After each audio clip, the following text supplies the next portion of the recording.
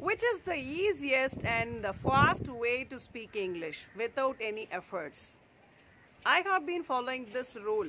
So you can also try this rule today and you're going to speak without any inconvenience. Are you ready to listen? If yes, say yes. Okay. See, there are some people, they are so afraid to face people, face Britishers, face the people who ever speak effective English.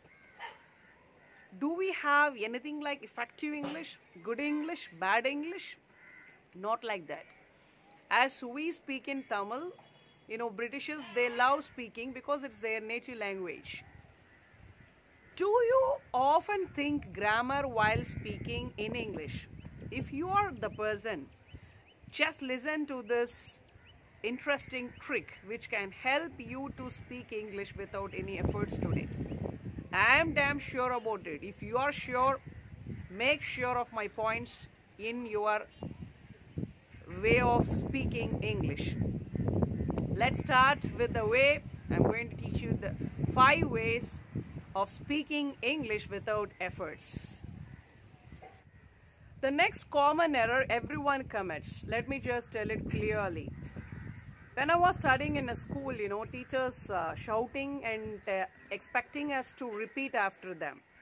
So when a teacher was saying like this, uh, come on, open your mouth loudly and repeat after me, I started to repeat without knowing the meaning of a word and without knowing the correct pronunciation of that particular word.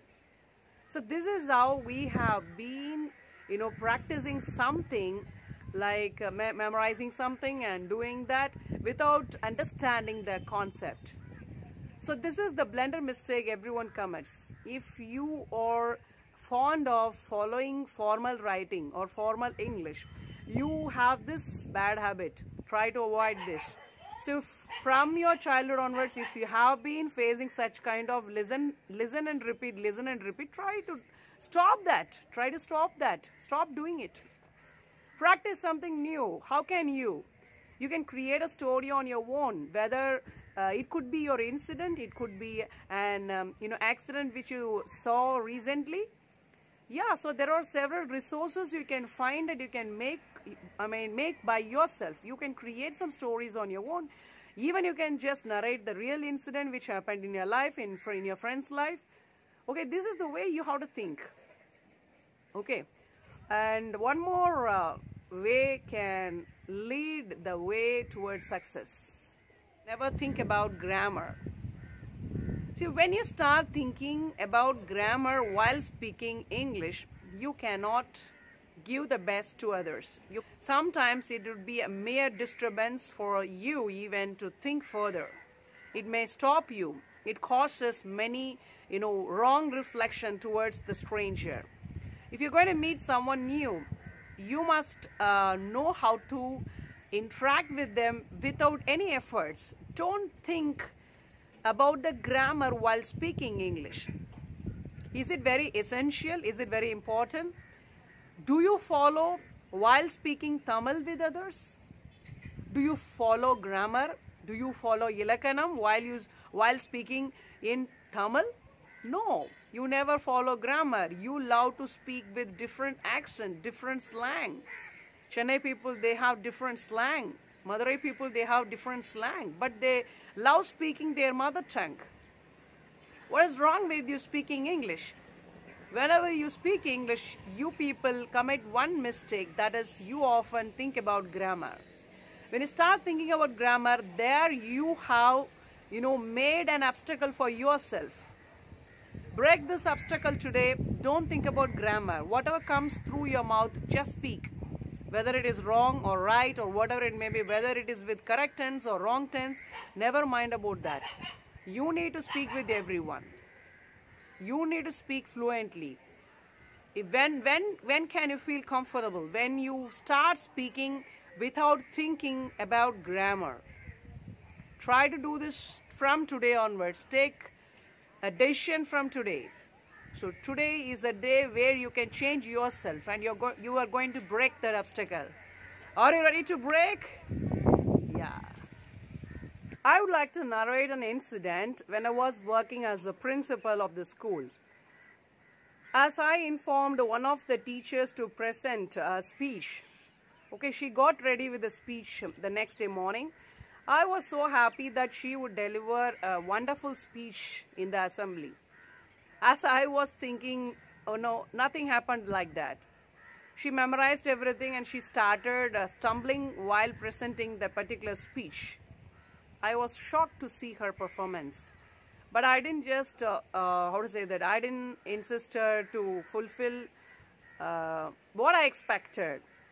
I just called her and uh, I was speaking with her for a long time. She just memorized everything and uh, she just uh, repeated everything to the public. As what whatever she heard from someone she started repeating the things.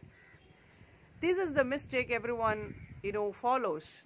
From even from your childhood you have been following this kind of uh, uh, repeat and i mean listen and repeat problem i mean rule so this is not a fair one which cannot help you okay don't follow none of these rules it is not going to help you at all so I'm going to teach you an interesting rule which can help you more than this. Try to speak using simple words which are all familiar to you and which you use every day, which you use often, which you repeat often. Okay, so no need to memorize such kind of words. Those words are already in your mind. Just pick the word and present it neatly. Don't memorize new vocabularies. When you start memorizing new vocabularies and presenting in the public, you may struggle, you may forget the word. And you know, you will be in, you know, how to say that, you will be in a critical situation whenever you, you uh, give the, such kind of beautiful presentation in front of the, uh, the biggest gathering. So don't do that. Avoid such kind of situations. Don't create some tough situation and don't make others to be embraced. So try to understand new words and practice it consistently. When you, when you feel that I can use these words, you know, without thinking in my mind, it should come from your mind. It should come immediately from your mind. It is not required to trace the word from your mind. It is not required to give time to search for the word in your mind. Okay, it is not essential.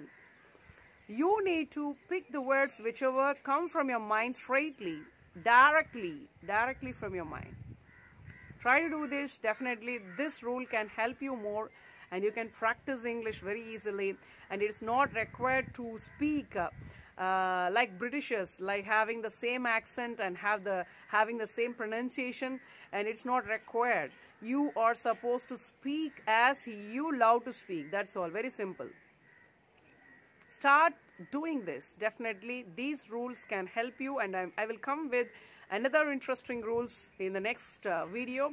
Try to watch the video and subscribe to my channel and watch my rules consistently. Definitely it will help you a lot and uh, share this video with everyone and you are going to speak without any efforts here afterwards. Thank you for watching. Bye-bye. Take care.